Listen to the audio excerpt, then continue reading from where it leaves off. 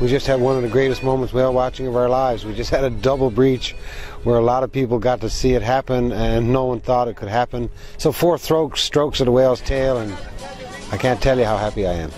I'm doing this all my life. It's been 30 years and uh, this is our 30th anniversary and I'd never seen a double breach. I heard tell of double breaches but I didn't actually see one. But today I saw this double breach and I was I couldn't even describe the position. I was that excited.